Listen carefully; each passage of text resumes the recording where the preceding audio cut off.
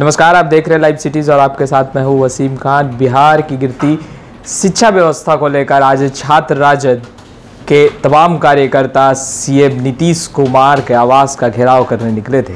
NSIT निखारता है आपकी प्रतिभा को। NSIT a place to imagine invent and inspire NSIT Amhara Bihta Patna इसका नेतृत्व छात्र राजद के प्रदेश अध्यक्ष सृजन स्वराज कर रहे थे। उस दरमियान जब इनकम टैक्स चौराहे पर जब छात्र राजद के कार्यकर्ता पहुँचे तो जिला प्रशासन ने उन्हें रोक दिया। उसके बाद छात्र राजद के कार्यकर्ता उग्र हो गए थे। लाठीचार्ज हुई। छात्र राजद के कार्यकर्ताओं ने रोडेबाजी की। आँसू गैस के गोले दागे गए। उसके बाद फिर लगातार जो है छात्र राजद के कार्यकर्ता जो है, वो रोडेबाजी कर रहे थे। उस दरमियान जिला प्रशासन ने कई छात्र नेता को हिरासत में ले लिया।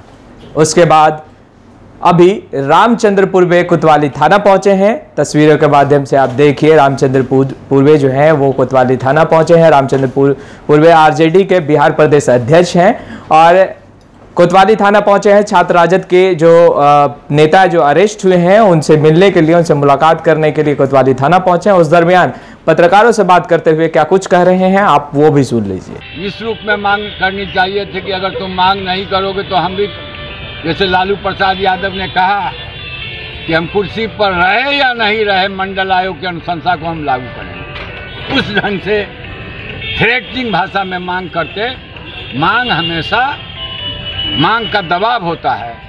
और जब आप मांग का दबाव के साथ इन्होंने मांग नहीं किया इसलिए ऐसी कई छात्र नेताओं को हिरासत में भी लिया गया सर। है हम लोग मिलने आए हैं और हम लोगों ने कहा कि जायज़ मांग के लिए आंदोलन है। यह आंदोलन कोई दूसरे तरह का आंदोलन नहीं है। शैक्षणिक संस्थान को, उसकी व्यवस्था को ठीक करने के लिए आंदोलन है। इसलिए मतलब कि आप अपनी प्रक्रिया पूरा करके इसको जल्दी से छोड़िए। तो आपने सुना, रामचंद्र पूर्वे कोतवाली थाना पहुँचे थे। छात्र राजद के जो नेता हैं, वो अरेस्ट हुए थे तो उन्हें, उनसे मिलने पहुँचे थे और उसके बाद उन्होंने, उनके मांगों को जायज़ ठहराया उन्होंने कहा है कि जो छात्र, राजद के जो छात्र नेता हैं, वो सड़कों पर जायज़ मांगों को लेकर प्रदर्शन कर रहे थे और शिक्षा व्यवस्था जिस तरह से चरमरा गई है, उनको लेकर बिहार सरकार के आँख खोलने के लिए वो सड़कों पर उतरे थे और उन्हें हिरासत में ले लिया गया है। इसीलिए हम उनके जायज़ मांगों का समर्थन करते हैं और इसीलिए कोतवाली थाना उनसे मिलने भी आए हैं। पर हाल देश और दुनिया की तमाम खबरों के लिए लाइव सिटीज़ के साथ बने रहे। हमारे चैनल को सब्सक्राइब करें, साथ ही साथ हमारे फेसबुक पेज को भी लाइक कर ले ताकि तमाम छोटी बड़ी खबरों से लगातार हम आपको अपडेट रख सके। आपका बहुत बहुत धन्यवाद।